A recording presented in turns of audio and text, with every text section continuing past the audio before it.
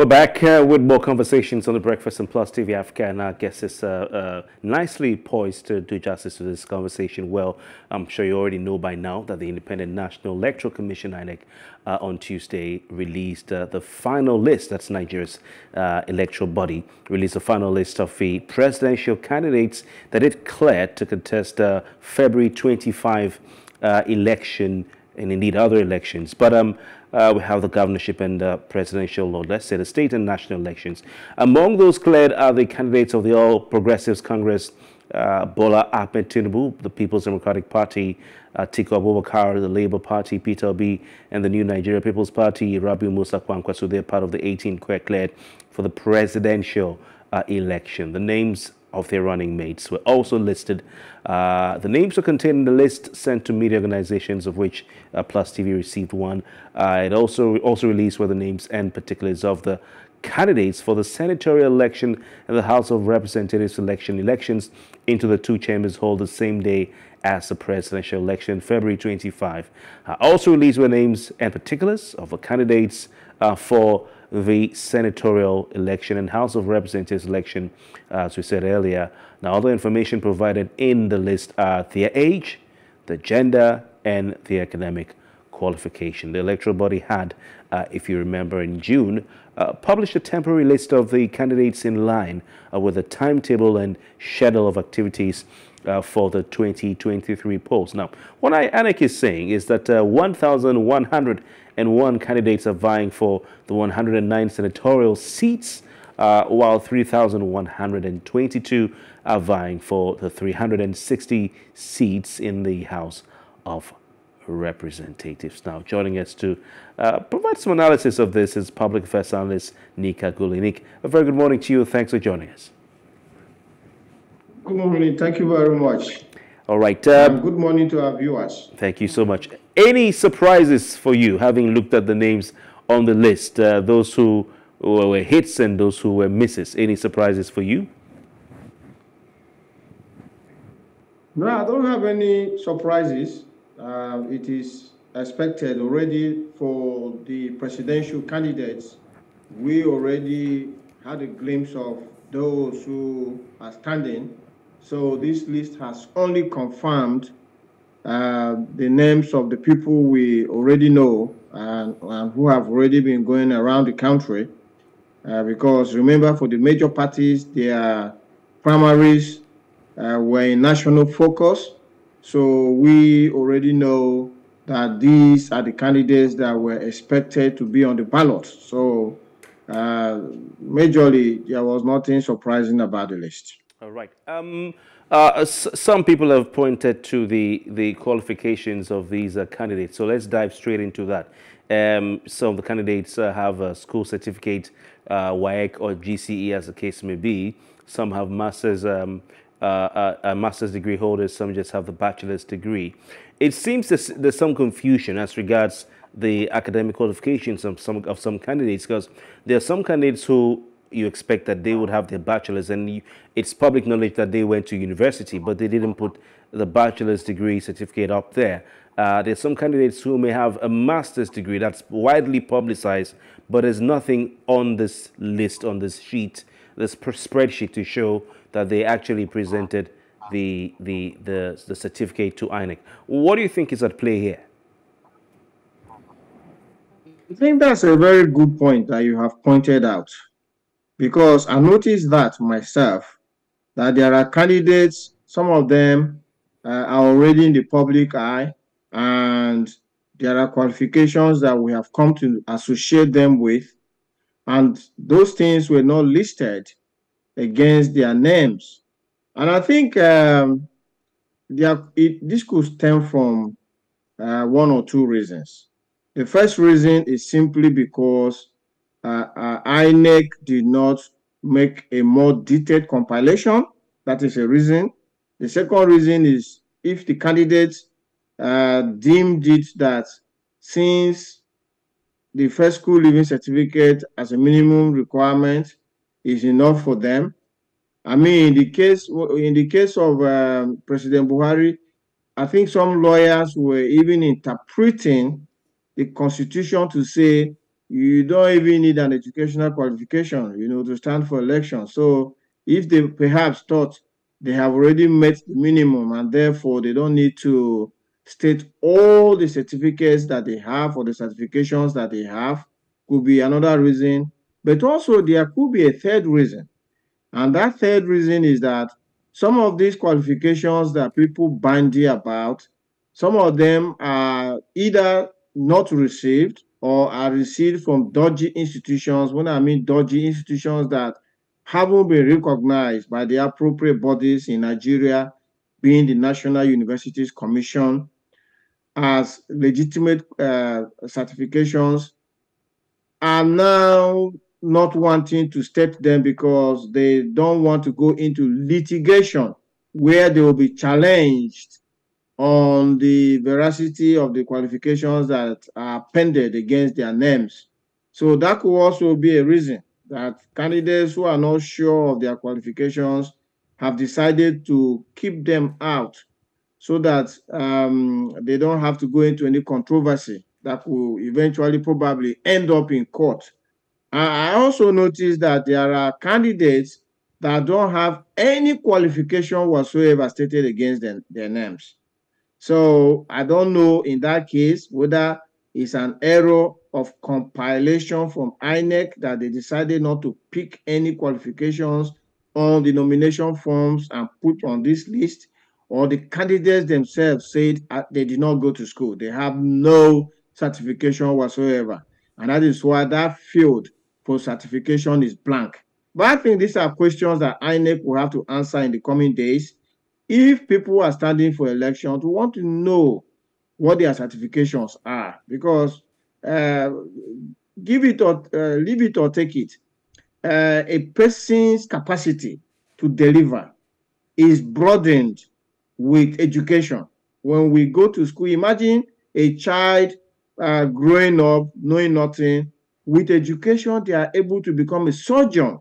That means they're able to split human beings apart remove certain parts, repair some parts, and close those human beings back. And the human beings later jump down from bed and they are living their life walking around. You can never get that capacity except you have gone to school.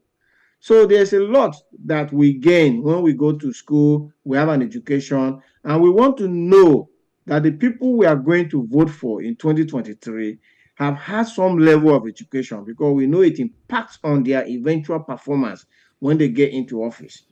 So these are questions that INEC has to answer in the coming days as to why some of the candidates don't have any qualifications whatsoever stated against their names, and some candidates that in the public eye we already know have higher qualifications, but they were not stated in there. Uh, so well, I mean, maybe we'll probably come back to the conversation of uh, qualification or whether or not it matters. Uh, of course, we know that the Constitution is very explicit as regards, uh, you know, qualification for different position, especially if you're vying for position.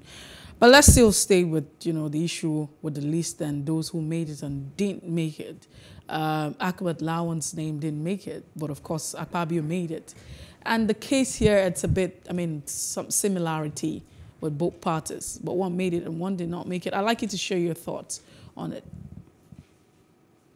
So, if I go by the explanation of uh, INEC regarding these two candidates, INEC said that in Akpabio's case, a court order is what forced their hands to put Akpabio's name on the list. And uh, probably there is no such court order uh, in the Lawan's case, or that case could still be in court, or there, there is in the pipeline. But if INEC eventually gets a court order for the Lawan's case, I believe they will also put his name on the list. So that's a differentiating factor between the two uh, candidates. Otherwise, their their cases are similar, they are the same, uh, and Akpabio is on the list. And also, Akpabio's case uh, a court order ordering INEC uh, to put his name on the list doesn't mean that the court process, the, the judicial process has ended. Uh, probably the other parties might want to go on appeal. So until the case is finally adjudicated, perhaps by the highest court in the land, the Supreme Court, before the Akpabio's case can also become firm. All right. Uh, um, uh, let's let's look at. Uh, I mean, one or one or two of the candidates. Uh, I'm just going to this list here, and um, there's some controversy regarding uh, um, the the presidential candidates. So some debate amongst the um, the the the supporters of uh, three leading candidates as far as um, the polls or the conversations online and everything is concerned. the supporters of um, Atiku Abubakar are saying, "Oh." He's the only presidential candidate that uh, amongst the leading three that you know we normally talk about, uh, uh, PDP, APC, and Labour Party, that has uh, a master's degree, and that should uh, you know put him ahead of the pack. What are your thoughts on? On, on, on this. Uh, you've talked about it, you touched on this in a bit, but I want us to dovetail into these three parties. PDP having Atiku Abubakar, who has a master's degree, um, if you look at what, uh, permit me to just cast my eyes on, on this list, if you look at what, and I hope that we can just blow that on the screen as well, look at what the, um, uh, the APC has. Um, you have Bola Tinubu, um, you know, 70 mil, BSc um, Business Administration. You look at um, his vice presidential candidate, BSc Agriculture, that's talking about uh, Kashim Shettima. So, do you think that Atiku is ahead of the, the big three, the other big three candidates, because he has a master's degree in terms of what he can bring to the table uh, as a president of Nigeria? Permit me to go back in history a bit in Nigeria. In our 62 years of independence, there was a time where all that was being said was because uh, Nigeria was not being governed well uh, because of the fact that no graduate had uh, taken the reins of power as, as the leader of Nigeria, either as a president or head of state. Because you know, started from the Tafawa Balewa times into the military, and you know, the military people in, in those days when they went to NDA, they didn't get a degree. Uh, NDA became a degree awarding institution at some point. In fact, the earlier military boys uh, went to Sandhurst or Aldershot in the UK uh, or Tertiary in Ghana, they, they didn't come out with degrees because they spent basically like two years, three years in the military academy and they were commissioned as officers. So from Tafawa Balewa to the military boys, all the way to Shagari, you know, we we didn't have uh, graduates who were who were president. Even when we got to Obasanjo, you know, Obasanjo's qualifications were also uh, in controversy. So Nigerians uh, were saying, oh, because we don't have a graduate uh, to have led Nigeria previously, this is why Nigeria is not being governed well. And so we, we rose from no degree to a PhD. We got good in Goodluck Jonathan, we had a PhD holder become president of Nigeria, but nothing changed. Goodluck Jonathan did not show anything that will indicate to us that a person's uh, academic qualifications can actually be a, a, a differentiating factor. So the, to me, the first qualification, the real first qualification that somebody needs for the office of president or all the other political offices across the land is the human qualities of that person, the human qualities. For instance, if you have a compassionate person, naturally, this person is compassionate, meaning the person's heart met at the sufferings of others. A person that when he sees suffering, wants to do everything to, to, to, to solve it. That is the qualification that is needed. But when the person now goes to school and obtains academic qualifications, that only enhances that person's capacity to deliver. If not that being the case, then you can bring professors. Look, we have had professors who have taken on positions of uh, um, uh, authority. I know that Professor Osunbor was governor in Edo State. You know, we have had professors as ministers, as commissioners. Professors have come into the political space in different roles. We even have professors who preside over the, the elections and you can see that they don't bring their professorial uh, qualifications to that table. that's a clear indication that it is the person's human qualities that matter most, more than the academic qualifications. The academic qualifications are only enhancers. They are enhancers to the performance. But if that person is bad, he will remain bad, even if he has got all the degrees in the world. So, coming to your question directly, Atiku's qualifications, having a master's degree, why the other candidates don't have a master's degree means absolutely nothing in the scheme of things. All if right. Atiku is uh, a good just, man, he's a good man. If he's a bad yeah. man, his qualification will him. All right. Just before Mercy comes in, let me just put this out there that um, there was some controversy because on uh, beside Peter Obi's name, they just wrote degree. There was nothing there to show what kind of degree that was. And there was some talk of him not being able to present a certificate to INEC. One of his aides um, was uh, able, uh, Obaze, Oseloka Obaze, put out on his Twitter page yesterday, Wednesday, September 21, uh, Obi's NYSC certificate and his degree certificate. He had a second class upper, a lower division, sorry, in philosophy. Maybe that shows why he, he talks the way he does. Um, you have uh, the, the, the, worst qualified, lowest qualified um, uh, ticket uh, or duo being the ADC of Kachikwu Dumebi and his running mate uh, having uh, just uh, presented school set. Though I, I suspect they have more than that. But the most qualified, uh, Nick Agule, seems to be Rabiu Musa Kwankwaso and his running mate, Bishop Isaac Idahosa of NNPP, who are both uh, PhD holders. They were able to show actually uh, progression in all the things they presented of the academic uh, journey so far. Mercy. Well, Nick Agule. Okay. Sorry. Well, let, us move away from that now. And I mean, you, you uh, the perspective and insight that you brought, I mean, very valid because, uh, like you have rightly mentioned, uh, we have seen professors as governors, and uh, there's nothing really uh, that's been professed by them. At the end of the day, look at the state and nothing to show for it. And so, uh, a conversation for another time. But I'd like to ask you now what do you think the, the implication is? Now that INEC has put out the list, uh, this is the final list, what's the implication of this for uh, political parties as we inch closer to 2023? Thanks very much for that question. Before I answer the question, let me just, uh, you know, conclude by on the last point to say that if I look at that list in terms of the qualifications that INEC have listed, I think INEC actually just went and copied exactly what the candidates put in their nomination forms and put on their website. So INEC needs to do some data cleanup. For instance, I'll give you an example. For some candidates, they wrote uh, abbreviated FSLC, that is First School Leaving Certificate. INEC put it FSLC. Candidates that wrote First School Leaving Certificate, INEC actually wrote First School Leaving Certificate. So if INEC was going to abbreviate FSLC should have done that for all candidates. And if they are writing first school living certificate, they do the same all to all candidates. You know, I'm from Benue, so I took interest in the Benue list. There is one candidate there who wrote first school living. The living was not L E A V I N G, it was L I V I N G. And that is exactly what INEC has there. So I think there's cleanup that needs to be done in terms of INEC.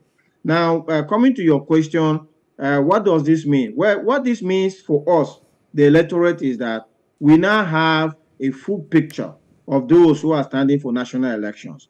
And we have to begin to interrogate, interrogate them now. We need to start to listen to them. We need to have to follow them. We need to dig into their past. You see, in those nations where democracies are working and citizens are enjoying life, this is what happens. The citizens including individuals, groups, the, the, the media, and the civil society, and everybody will be out now scrutinizing these candidates, checking what they have done in the past. Because you see, what people have done in the past is a clear pointer to what they will do in the future. It's not what they are talking now. They could just be sweet talking us into giving them votes. But what they have done in the past is very important and we need to dissect all that. We need to unravel these people. We need to uncover them. We need to expose them so that we know the people we are going to the polls to vote for. Because you see, as they say, prevention is better than cure. We have to make sure we get the right people into office. Because if we don't get the right people into office and we allow them to get into office and then we hope that we are going to change them while they are in office so that they will deliver good governance to us. That's what we have tried in the last 22 years, and it has not worked for us. So this list is now on the table. What it means for us is to look into it critically and begin to look at these people. And and and the and, and the enlightened community, the enlightened uh, section of our of our of our country are the ones that have to take the lead. You know, there are a lot of voters in the villages that probably don't even have access to the internet. They have not even seen this list at all. They don't even know who is on the on the ballot. And it is for those of us who are knowledgeable, we have seen the list, we know these people. Everybody should be talking back to their people in the village and saying, that man that stood for Senate is a bad man. Right. That man that stood for House of Rep, he can't do anything for you. But Nick, Nick we, we, we, we have we have to go. Uh, uh, since apologies, yeah. we, we have to pull the plugs on that because we've been told we overshot that time. Uh, but I'm sure the, the, conversation will continue. We have some months to go till February 25. But thank you so much for your time and your expert analysis as always. Thank you so very much for this time. Uh, All right. Have a nice day. Mercy. You too. L leaving instead of living. you know, like um, one of the um, announced protesters was holding a placard. You know, university students now, they ought to know. They spell dying as D I E I N G. D what? D I E I N G, dying. You know, it's, it's amazing what we see. All right, anyway, we'll be right back. Let's take a short break. We have uh, further discussions ahead on the breakfast.